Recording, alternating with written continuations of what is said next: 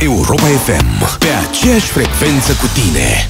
Cineva ne transmite că e blocaj pe Valea Oltului, în zona Lazaret.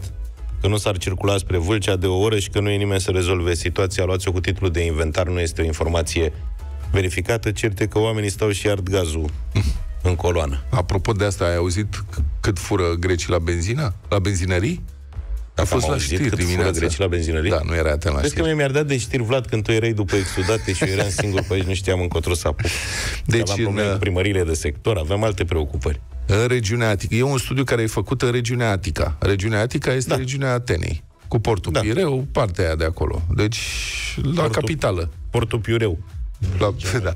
Um, nu știm despre alte regiuni, dar mă îndoiesc că ar putea fi foarte diferit. Deci, în această regiune, regiunea Atica, care cuprinde... În Ilfovulor, cum ar veni. Așa? Așa. Mai, mai mult de una din patru benzinării de aici, 27% dintre benzinării fură la benzină, dau, livrează cantități mai mici decât cele pentru care plătesc clienții.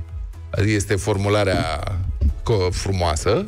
Deci benzinarii greci îs niște escroci. Asta spune studiul. Datele.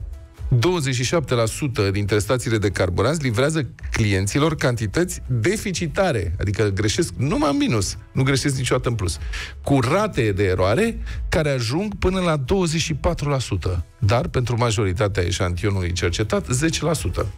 Adică Adică dacă tu pui 10 litri, de îți fapt, iau unul, de fapt, de îl fapt, plătești degeaba. de fapt, da, de fapt tu ai alimentat cu 9. Cu 9, și el da. îți taxează dar plătești 10. 10, da. Înțelegi? Ok. Ce scrocherie? Da. La un plin Păi de 50 de cum litri? nu se înseamnă lumea la plin. Domnule, ci că Apropo de știu, plin. dar n-au ce face și asta e. Să Ei, tu pui merge plinul înainte. și tu știi că ai plinul 40 și pui 45. Da. Practic asta se întâmplă. Tu pui mai mult, ai deodată plin mai mult. Eu, sincer, eu nu știu cât e rezervorul meu, de fapt, pentru că nu înțeleg rezerva aia. Puțin știm. Da, păi asta e problema, știi? un mister Eu ăsta. pun acolo, cât intră, atâta intră. Da. Îmi zice că am, eu am intrat 42, 42 plătesc. Îmi, intră, că, îmi zice că am intrat 48, 48 plătesc. Nu știu cât e rezerva. Ajung când e becul roșu, nu știu cât mai era. Mai sunt 5 litri, mai sunt 3, mai sunt 10, habar n-am. Da, nu corect. știu, ăia știu, înțelegi? Eu mă bazez, adică e o chestie de încredere aici. Procentajul benzinăriilor cu probleme, ca să vedeți cum totul s-a transformat într-o modă. Deci câte benzinării te fură, de fapt, la benzină în regiunea Atica.